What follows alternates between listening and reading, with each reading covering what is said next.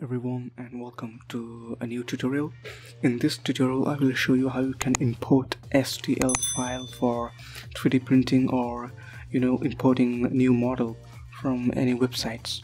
So let's uh, import a model. So I have a model right here and I copy and I'm just gonna go to import and I paste the link here and here you can see this Deadpool Bust V2 and import as you can see I cannot import it.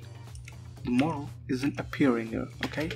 So what we'll do we're gonna go to Windows setting preferences and go to plugin manager.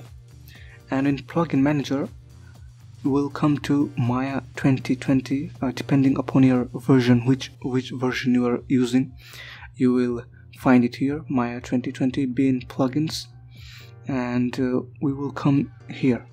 STL translator okay? So I will just go to here and press load right? And I press close. Then if you if you want you can restart your Maya or I will simply go to file import it again. Just gonna go to Deadpool here import and as you can see it has been imported right now. Now I'm just gonna press rotate. I'm just gonna go rotate here 90 degree. Right and press W. And grid press and just gonna go to grid. Okay. And I'm just gonna go here reset all the transformation history. Alright.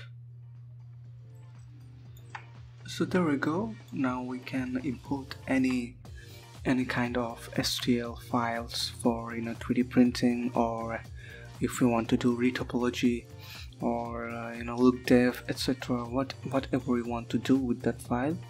So yep that's it. Make sure that you go to windows setting preferences plugin manager and here STL translator is loaded right?